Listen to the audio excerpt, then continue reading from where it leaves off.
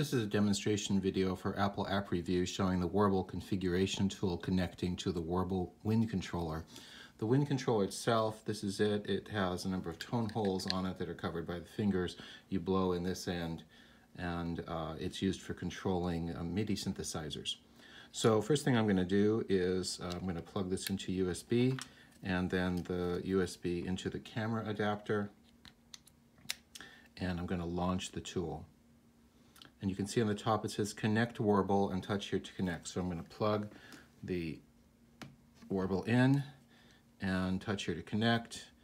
And you can see now it says WARBL connected right here.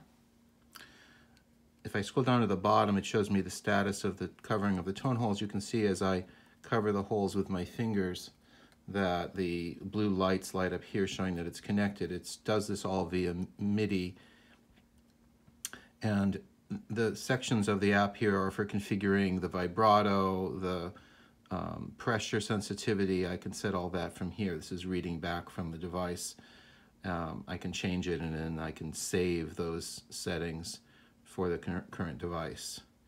And it loads it into the firmware. And you can see when I do that, I'll do that again, uh, save settings for this device. You'll see on the back of the WARBL there's a configuration light and the light goes on indicating that it's been programmed. And again, if I scroll down here, you can see I have the hole coverings.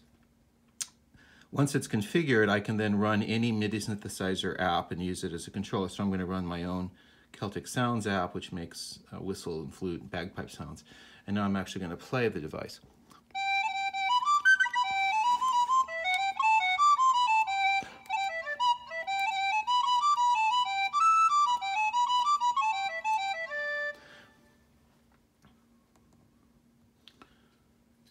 Again, you can see it's still detecting the, the finger holes.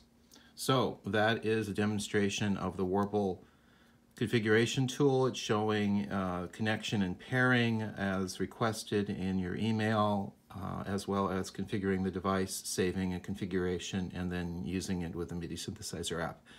I hope that's sufficient uh, for your purposes. Thank you very much.